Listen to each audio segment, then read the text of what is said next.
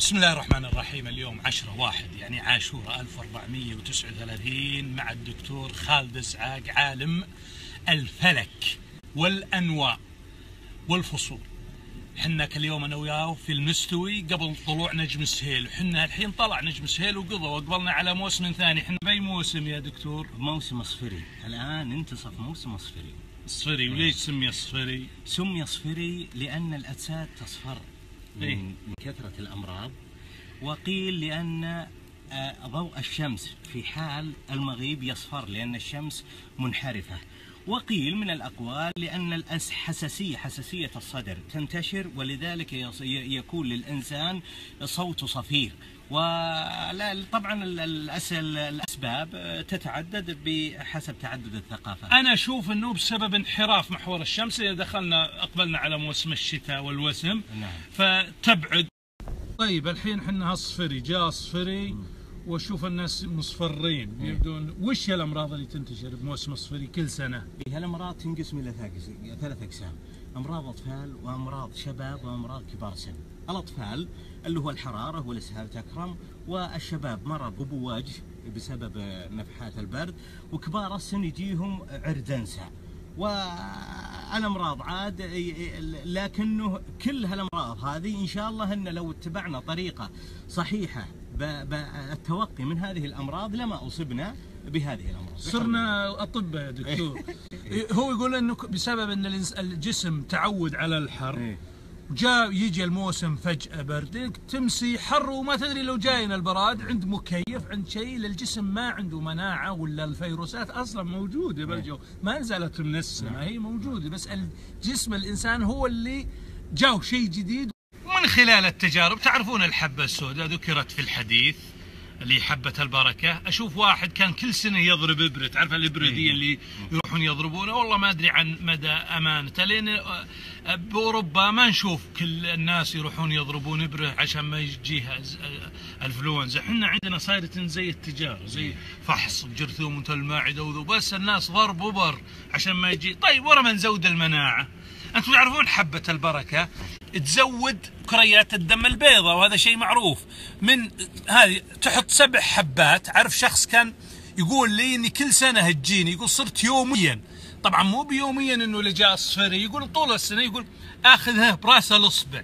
سبع حبات وأحطهم بثمي ويعني أطلع الزيت اللي فيهن وأشرب عليهم ماء. يقول والله العظيم صار لي خمس سنوات ما جان الانفلونزا الحادة ذي اللي تجدع فعلا هي على إيه فصار آه، يقول طبعا إحنا ما يجي الواحد قبل الصفري بيومين يقول ببدأ أخذ حبة سوداء. خذ من الآن بس على شرط. طبعا في هي. إذا الواحد يأخذ مسيلات دم إذا يأخذ اسبرين ما يصلح لأن هي تسيل الدم. بس ترى طب الأعشاب ترى عندي خبرة فيه معليش ما بتفلسف. ف ولذلك اللي عنده عملية جراحية ولا شيء ما ياخذ حبة سوداء لأنها تسيل الدم لأنها إيش؟ تكثر كريات الدم البيضاء فيصير في سيلان. لكنها تقوي المناعة تقوي المناعة. وأنا أعتقد إنه عندنا يقول الآن بعض الأطباء لا تأخذون حبة سوداء تضر. يا أخي باوروبا جميع الكعك جميع الخبز كل صبح تلقى عليه بذور الكتان وبذور آه، وحبه السوداء بكثرة. ما قالوا إنه يضر لا تتناولونه ولا حطوا لائحة كبار السن اللي يتناولون إسبرين لا يأخذون الحبه السوداء. ما أشوف بألمانيا بريطانيا فرنسا صح ولا لا؟ صحيح. فما أدري عن آه، عندنا طب. وتعرف يا دكتور إن المثل اللي عندنا يقول أول البرد توقف وآخر البرد تلقوا هذه هي القاعدة الصحيحة يعني قبل الحبة السوداء. لا وي- ويقال من الأمثال اللي ورثناه من آبائنا يقولون برد الصيف خفيف لكنه أحد من السيف. أحد من السيف. لأن البرد الذي يدخلنا في حال أول الشتاء اللي هو في حال الخريف آه، يستمر معنا طول أيام الشتاء. ولذلك الأمراض أول يجيهم مرض بوجه وبوجه ما يزين وجه الإنسان إلا إذا مع الكي. فالكاي الأولين طبعا هذا كلام الأولين. يقولون الكي كي ابو وجه لازم يكوى مع مع ورا صرصور الاذن منا ومع رقبه منا ومع الهامة. فشوفوا كلنا بالقصيم كلنا مسوي. مسوي صايرين ما يحتاج فهذا يقولون مرض ابو وجه ما ي... ما ي... ما يزال إلا عن طريق الكي طبعا هذا ال... تعرفون اللي يقول الدكتور أبو وجه هو التهاب العصب السابع. والآن انتبهوا من المكيفات ال- اقصروا درجة المكيف لا تطلع من المكيف وأنت طالع من آه، الحمام متسبح شرب الماء البارد للأطفال. وده أهم شيء. وبالأخير ترى آه، الإنسان يقدر يتوقع والوقاية خير من درهم وقاية خير من قطار ذهب علاج. طيب السنة ذي إن شاء الله المباركة إن شاء الله علينا وعلى وطننا. الكريم المعطاء وش تو- من ناحية الأمطار كل سنة ما شاء الله تتوقعون سنة مطيرة سنه وش تتوقعون هالسنه؟ والله ما زالت المبشرات تترى بحول الله. ونقول ان مبشرات تترى. مبشرات تترى. بحول الله يعني وإن شاء الله نقول ال- التوقعات المبنية على على على على حركة الرياح وعلى تخلقات السحب وعلى نسبة البخر جميعها هذه مجتمعة ت- مبشره بخير.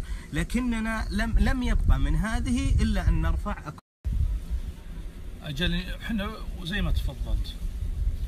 ما بقي إلا أن ندعي الله سبحانه وتعالى أن الله. يغيثنا يغيثنا هالسنه إن شاء الله. وطبعا مقولة إن هالسنة حر وإنه هالحر ما عمره جاء مثل هالسنة هذا كلام صحيح. هذه سنة متبعة عند العوام. لما دخل البرد. قالوا ما شفنا برد زي لا. منه هي ولا منه دخل الحر أو خلص الحر. قالوا ما كنت شفنا حر.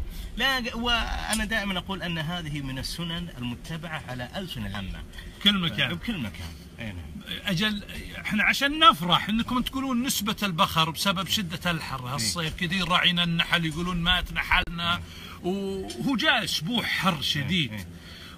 إنه تصير في بال- بالطبقات العليا في بخر أكثر فإن شاء الله انها تصير مبشرة إن صح؟ شاء الله. أصلا لو ما جانا حر صار غريب مستغرب. لازم الحر دكتور لكن الحر داخل المعدل معدل. يعني ما صارت إلى درجات عليا عالمية.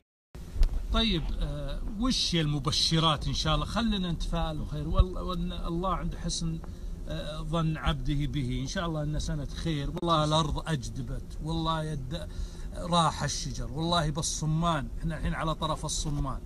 والله العظيم سدر الرياض سدر إمحت محي يقولون الرعي الجائر بس أنا ما أعتقد إن السدر ذي اللي كانت نظلل السياره تحته ان ان إن البعير جاء انبشى من الأرض. مو بصحيح. لا والله إنه بسبب الدهور والذنوب اللي علينا.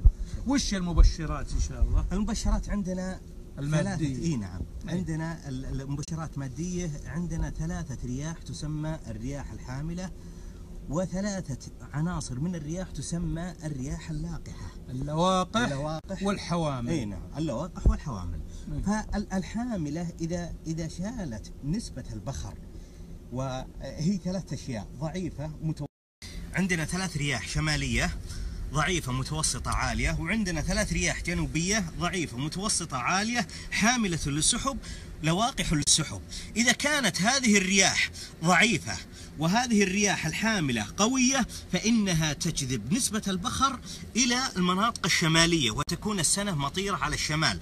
أما إذا كانت متوسطة وهذه متوسطة فإنها تجتمع على المنطقة الوسطى وتكون المنطقة الوسطى مطيرة. وإذا كانت عالية وضعيفة فإن الرياح اللواقح تتجه من الجهة الشمال والحاملة للبخر من الجهة الجنوبية وتكون على جهة الحجاز. ولذلك الأولين وش يقولون يقولون يا ويل نجد من ربيع تهامة. إذا جاء الربيع على تهامة فإن نجد تكون مجدبة نعم. طيب لما تيجي الحوامل من الجنوب معناته أنها تحمل بخار الماء اللي من بحر العرب. نعم من بحر العرب من هضبة البحيرات في جنوب أفريقيا. واللواقح تجي من الشمال. من الشمال إيه. بما انك قلت الرياح الحوامل اللي جاي من الجنوب واللواقح اللي جاي من الشمال الله يقول سبحانه وتعالى وأرسلنا الرياح لواقح. صحيح. والعرب يستبشرون بالهواء. آه، يقولون غي... الشاعر ناصر الفراعني يقول ليث إذا عض الزمان بنابه غيث إذا هبت علي يمانية نعم صحيح. صحيح. هذا في أول آه، الموسم. تأتينا الرياح من الجنوبي لكن بالمناسبة اهلنا الاولين اللي يدخلون البحر. يدخلون البحر للغوص. يدخلون الكويت بالغوص.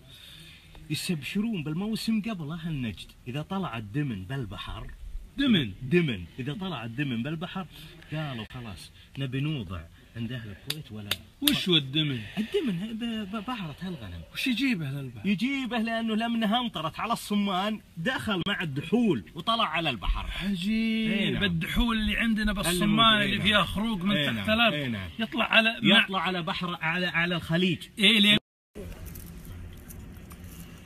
طيب إحنا الحين تكلمنا عن الصفري يا دكتور ولا ودنا نطول عليكم تملون. طيب وش بعد الصفري إن شاء الله؟ بعد الصفري الوسم هذا الوسم هو هو موسمنا. أي. تبي تتكلم إن شاء الله عن الوسم؟ إن شاء الله. ولذلك العوام وش يقولون؟ يقولون هوى صفري يسم وهوى الربيع يسمن أو يسمم. هوى صفري يسمم وهوى الربيع يسمن. وإن شاء الله انه الموسم يسمم ويسمن إي نعم. بالنون. اي نعم. طيب ح- هوا آه، الوسم مو بربيع. اي لكن إحنا نستبشر بالربيع بالوسم أي إي. تدرون سنة إيه، إن ربيع الله. أجل إن شاء الله تعلمنا عن أنواع إن الأمطار شاء الله. الديم إن شاء الله. والسيل و... الحلقة القادمة القادمة الله نشوفكم. على خير إن شاء الله